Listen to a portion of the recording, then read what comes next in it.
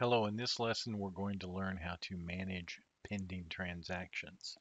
So from supply chain execution, go down to inventory management and open the task bar and come down to manage pending transactions. If you'll click view pending transactions, actually when this screen opens, just so you're aware, it will query for any errored transactions. So uh, if there were any, you'd see them here. Uh, for now, let's just go to the view screen. Basically, it's just going to come up with our search criteria.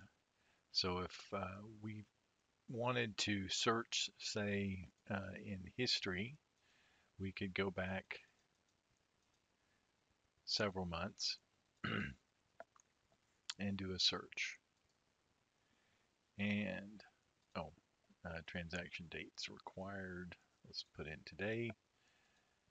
Do a search and it didn't find any which is actually a good thing because you don't want to have pending transactions in your screens.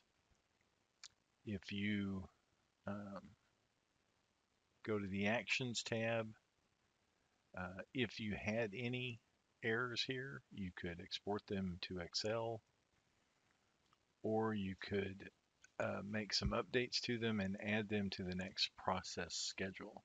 Since we don't have any to see, um, there's really nothing to do. So uh, until you have an opportunity to go and either create an errored transaction or to somehow happen to get transactions here, this is about all you can do. Uh, so anyway, that completes our lesson. Thanks for watching.